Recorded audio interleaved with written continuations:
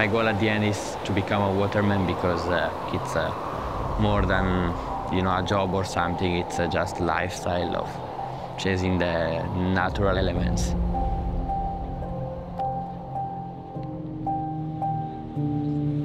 When it's like uh, 40 knots, uh, big waves, uh, strong wind, and I'm just there, it's like I know that's my place. I feel at home, you know.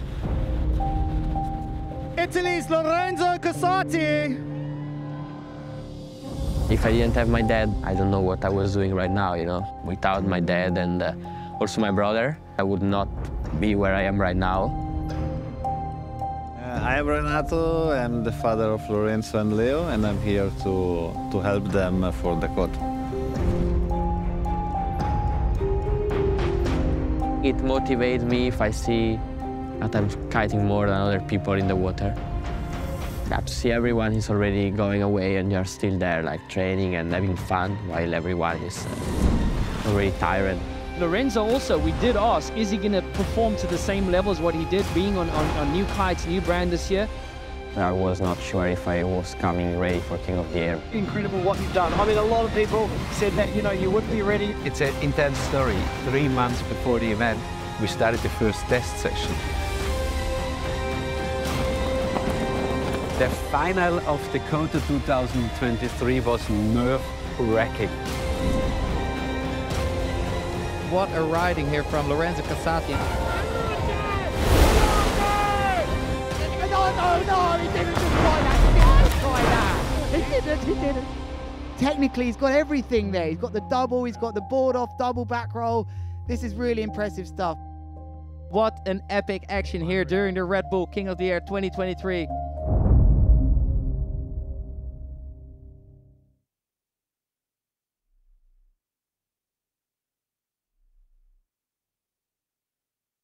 Lorenzo, vieni a prendere Bau.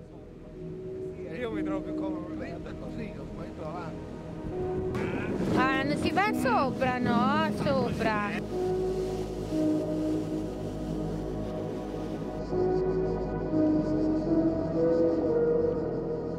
There has been one day in which I have understood that Lorenzo had the passion for the ocean and the sea. I bring at Lorenzo for the first time in his life to make surf. It was like my first day I was caught some waves and I like stood up on the board. The best thing was to happen when we exited in the water. That was quite late. It was in the dark. As soon as we gone out, he looked at me. Dad, which time tomorrow morning we have sunrise? And I said, I think 6.30, but why? I want to be here again. In that moment, her father understood he had something special for the ocean and the waves.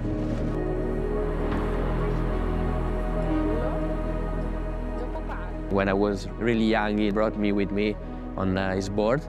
Between the legs, he was kiting and I was standing there. When I grew a little bit more, he started doing some practice on the beach and uh, started to get a little bit more into kiting, but still I was not kiting in the water or liking it.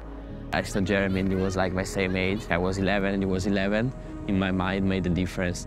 Like if I can do it, I can do it as well. Because before I saw my dad and there were guys, but they were all like kind of old. I thought it was a thing for more old people and I didn't want to do it so much. And after I saw Jeremy and I started doing more, more, more, more. As soon as they finished the school, they were the first one entering the water and quite always the last one to leave the water. As soon as there was wind, I was just kiting and trying to learn new tricks. And then I did my first competition, Junior World Championship. I think I was like 14 or 13. This been really a period in which it was like three years that they were watching TV, and in TV they were playing the old edition of KOTA. If you ask Lorenzo uh, all the names of the previous hits, uh, which were the tricks of uh, edition 2020, of uh, Jesse Richman, let's, they know everything. That's why also for Lorenzo is very important KOTA, and it's like a dream. If I didn't have my dad, I don't know what I was doing right now, you know. My dad always be like my teacher. He's helping me with everything with the kite world and what to do with the kite, but also outside of the kite, like in life. I think he really made a great job, and I couldn't have asked for a better dad, you know? So he's just uh, the most important person for me in this earth. Sometimes we don't even need to talk. We look each one in the eyes and we have already both understood everything. We're living uh, together and uh, share the same passion for kite surfing, but doing a lot of things together and to grow. I think it really helped uh, to be close and uh, yeah, to stay together.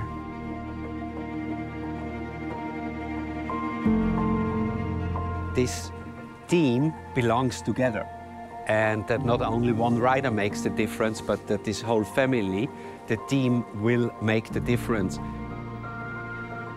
One of the things is that they are brothers. This means a lot. So a lot of times they make the, the training really like a game for them. They also have uh, an objective to be in the Kota podium, but the small daily goal is to be better than the brother. One of the secrets of our family is that we are joined and we work together and we are a small team. Everyone gives his contributes in his team. It's just nice to help him. If I train with my brother, sometimes then he will help me, you know, in some tricks. He give me tips to do it better. So when I can, I help him. That was new for us to not only have one athlete that is pushing for the big goals, but that there is a family, a complete team.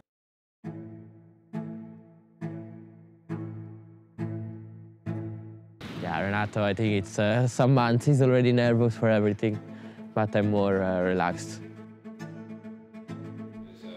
Excellent opportunity for all of you to understand what the judges are looking for, what scores well, what doesn't score well, um, and, and to give you a good idea how to kind of plan and uh, activate your heats to deliver a successful journey through the competition. It's really, really the future is about tuning those guys to get short line hits on your lines.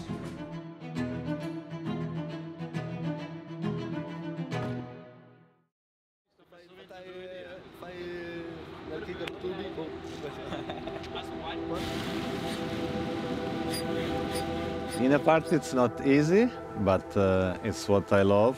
And I always try to have uh, an equilibrium between uh, being a father and being a, coach. We work a lot in, uh, at home in Canary Island to plan the way of uh, training and uh, with some slow motion every day together. I take care of them with the camera. The dedication in preparing that starts from the diet, from the gym, from the training itself, how they see what the material needs to do to be able to fulfill his tricks. I've never seen that in the kitesurf industry before. I think we are probably one of the more professional ones. In the sports, unfortunately, it doesn't turn so much money like other sports. So to be professional in the sport, maybe it's always been like an option and not like an obligation. If you don't train with the right uh, mind and with the right uh, strategy, you can maybe train even harder, but then you're gonna achieve less. You know, you have to train hard, but also train intelligent. Everything is planned, and it's not boring. It's something that can be adapted, but we have a precise direction in which always push and go and work. And also this can change by what the judges require or see or what the competitors are pushing. For sure in training, sometimes I'm trying new stuff and crashing a lot, but uh, I'm also doing a lot of tricks that I can do already because then they are probably the one that I'm gonna do in competition and have them really steady.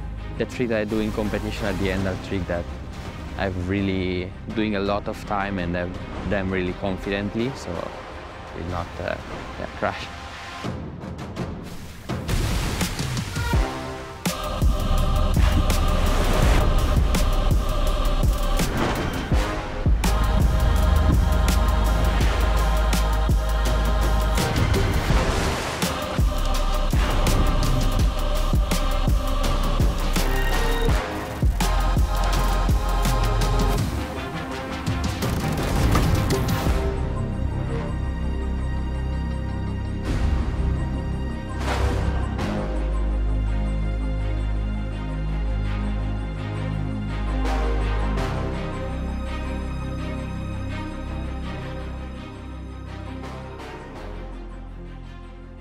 When Lorenzo said Harlem, everyone said, who?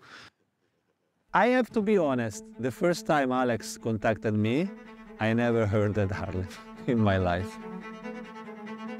I knew Harlem, but uh, I, I was not sure, you know, I didn't know they had the new kites. I never thought they could have a good kite for big air, you know. I always saw the kite and I was like, yeah, it's okay, but uh, I can't win a competition or I'm good with this kite. Alex called me. Then he said me, we are Harlem and we have the right kite to win the KOTA. and of course I thought, uh, oh man, one of the many that try to sell smokes, you know?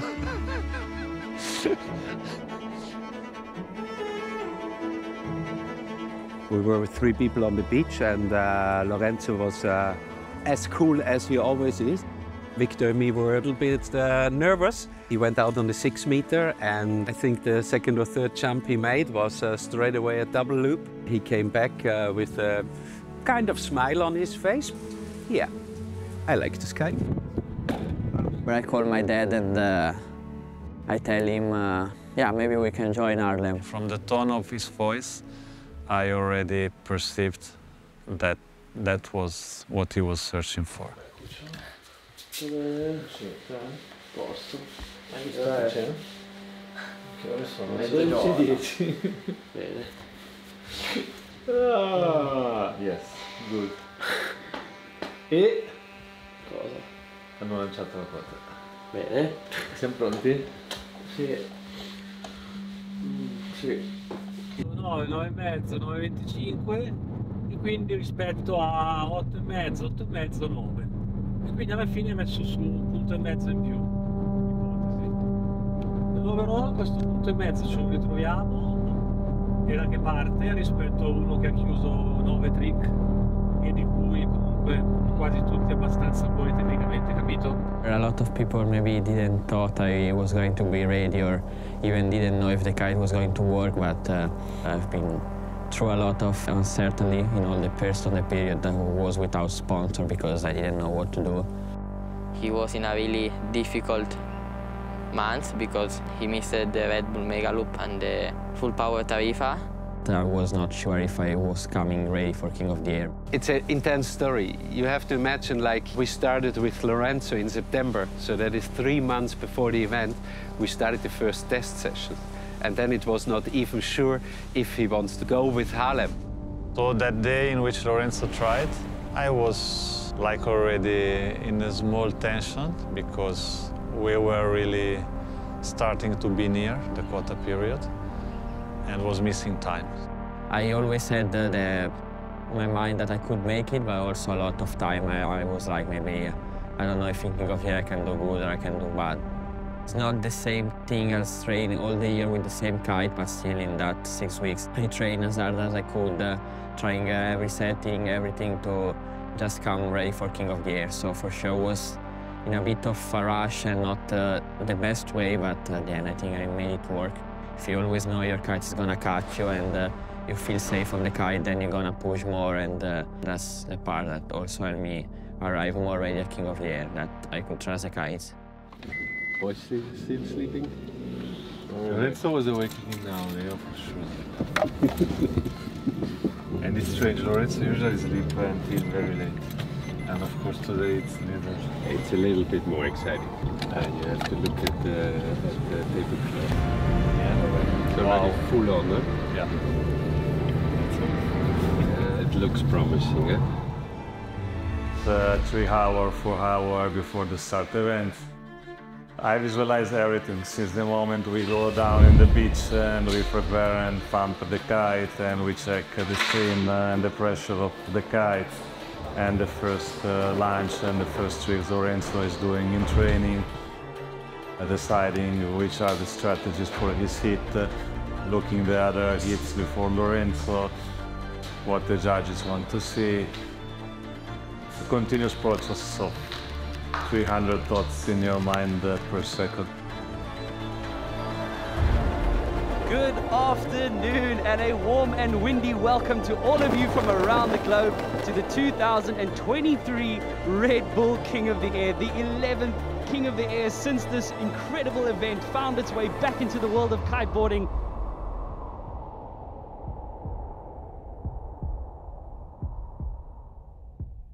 Lorenzo is the coolest horse in the circus. I never saw Lorenzo nervous in any way. I think it's, uh, it's good because maybe sometimes someone have too much pressure, is too much uh, stress before competition, and I don't think it's uh, good for your health.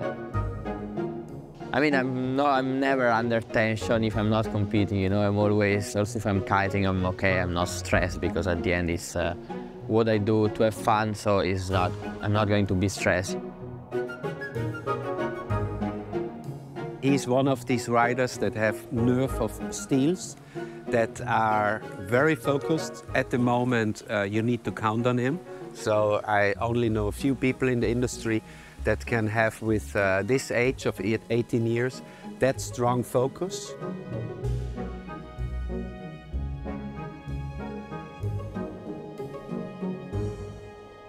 You'll be watching Lorenzo Casati defending his title. In the moment of the, the competition, everything must be ready. You have to compete in five minutes, but that five minutes is the result of one year of works with a lot of sacrifices, with so many hours. And this King of the Air and also the one of uh, last year, my dad was helping me for everything, strategies, and Leo is uh, more helping me now with, uh, you know, kite change, preparing the gear, uh, everything, make sure it's uh, ready.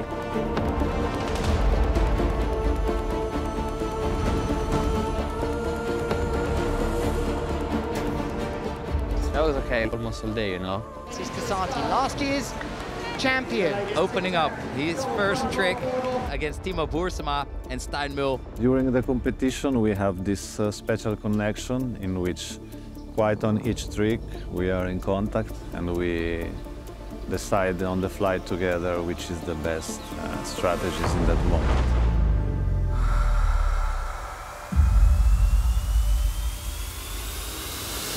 When I was in the water at the end, I was uh, just doing my tricks that I know I could do and uh, having fun, for sure. It's not the same as you go with training because you're in competition and it's different, but I was, uh, you know, okay. And then when I started to land all my tricks, I was uh, super, feeling super good, really confident, and, uh, you know, just uh, riding really good.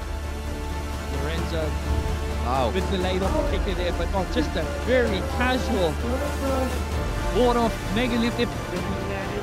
There, but Lorenzo Casati responding with a, what looked like a double board flip. He's got a wave underneath him. What a landing. Oh, what negotiating of the landing there. And on the buzzer, Lorenzo Casati decides to jump going in as well. These riders will try and get some training in, but realistically, they're not going to have time. The next time we see good wind here, we'll be running the quarterfinals. How do you feel that uh, Lorenzo is doing on his new gear? I feel like he's doing very well. I think he obviously hasn't had that much time to prepare. Yeah, but I was fucking, I was really underpowered that. yeah, yeah. Imagine if it was good. So, uh, Under, underpowered. yeah, Just cause was underpowered. yeah. Before when I was up there, I was quite way bigger. I'll just say it's becoming more and more technical as well. The guys are really narrowing down the margins of the board size, kite size, bridles on the kite, kite dimensions, kite profile. So the guys this year are really talking a lot of anticipation for how the equipment and the evolution of the equipment in the coming years is just going to push the sport to a whole new level. With Harlem, Liu, and uh, Apple Tree, I think it feels more than you know just uh, it's just your sponsor. I think it feels like a family. The human side, they're really open to everything. They we go together to eat, uh, we we speak, we have fun. You know, it's uh, something uh, more than just uh, they sponsor you. It's something that you you share moments and emotion with them. Happy birthday to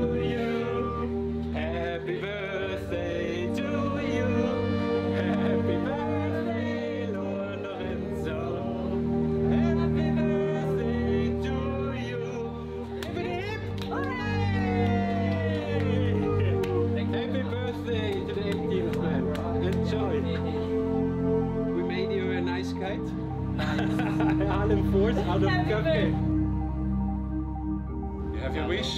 Yeah. Ready? I keep it for myself, right? yeah, and don't tell us, don't tell us.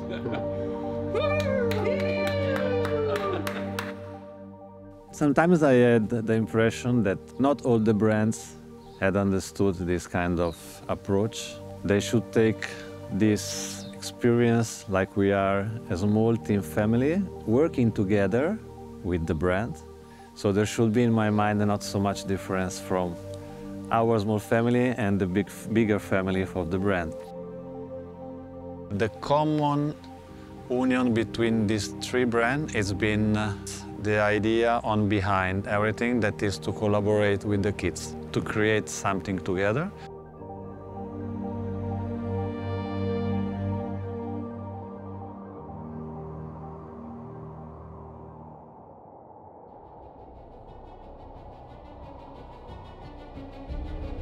Good afternoon, all of you from around the world, to the beautiful city of Cape Town for day two of the 2023 Red Bull King of the Air. We are coming to you live from the city of Cape Town, Kite Beach, the kite surfing mecca of the world.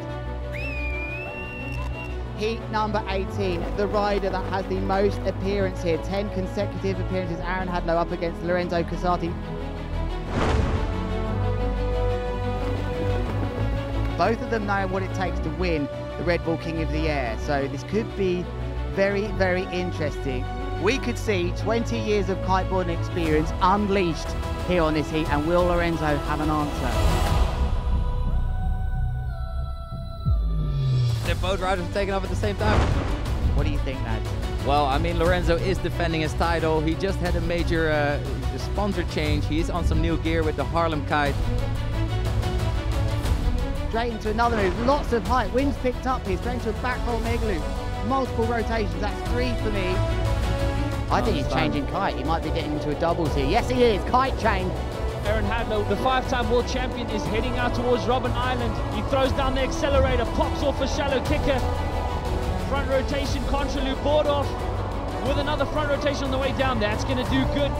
Lorenzo, wow. Double from uh, Lorenzo Casati, magnifico. They dropped the scores. Uh, Aaron Hadlow will no longer be competing, but what a heat from both of these riders. Casati's tactics were spot on. incredible. Jamie Overbeek, Lorenzo Casati, first place and second place finisher from last year's King of the Air. Unfortunate that one of these gents will be going home after this.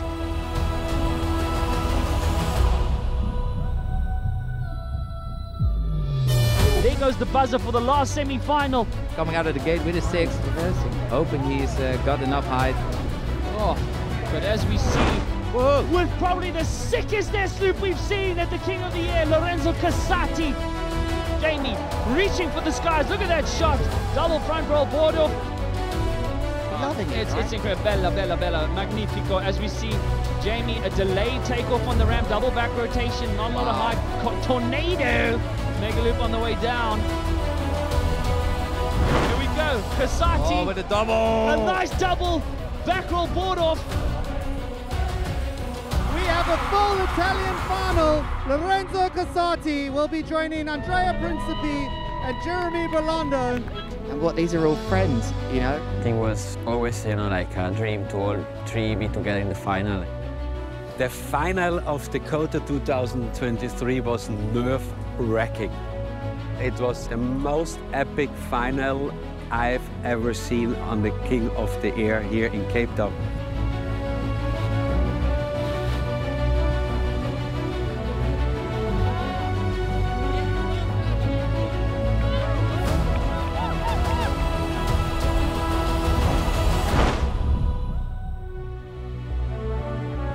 First thing I maybe felt a little bit was the lead. The wind was a little bit lighter in the final. And that's, uh, for me, that I'm quite heavy, maybe a little bit of a problem. When the wind is not strong and you are small, then you don't go the same high. But still, like, I, I went uh, into heat, like, you know, for sand. There we go. Casati. Again with a double mega loop board off and a front rotation added there on the way down. Heading out. He spots a kicker. Lifts his Go kite up. for it.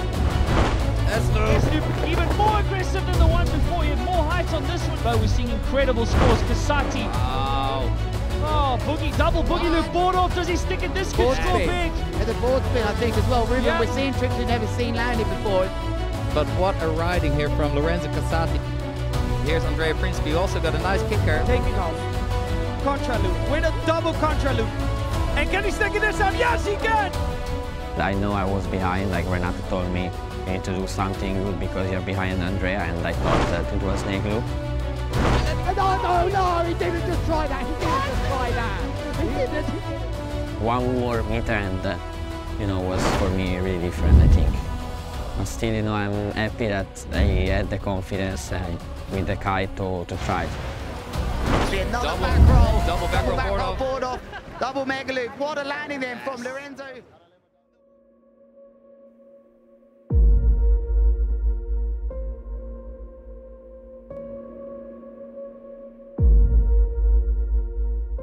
So I kind of know in my mind that I've lost. I got second, and for sure I was, you know, a bit disappointed. But uh, sometimes it's part of the game, and you can do nothing. You know, you can just uh, take it as a lesson and uh, improve for the next year, for the next uh, competition, and take example, and yeah, become better. With that win, I gave my 100% and even did things I maybe was not expecting to do, you know. Facevo una roba di prima, potevo anche.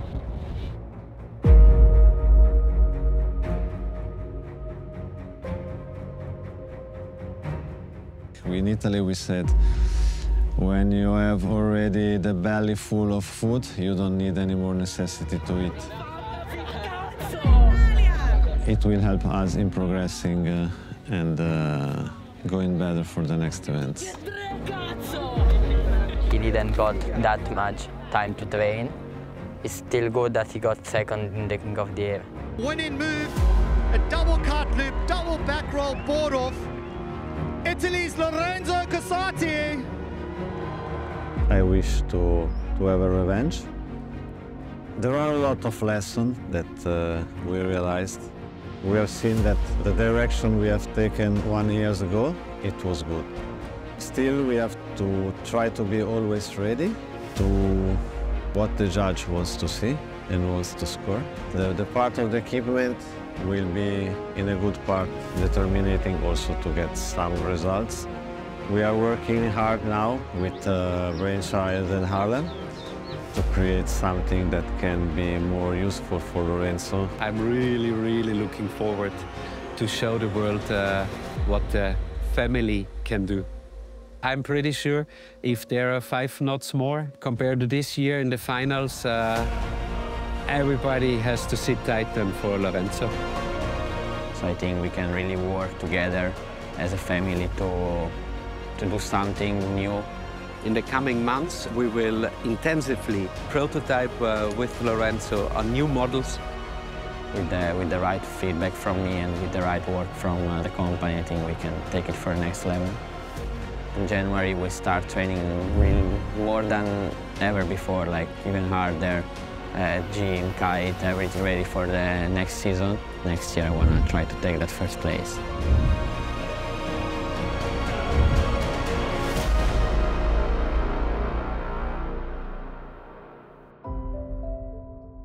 My goal at the end is to become a waterman because uh, I also want to have like big air goals. So I want to try to be the first one to become world champion in big air strapless and wave riding.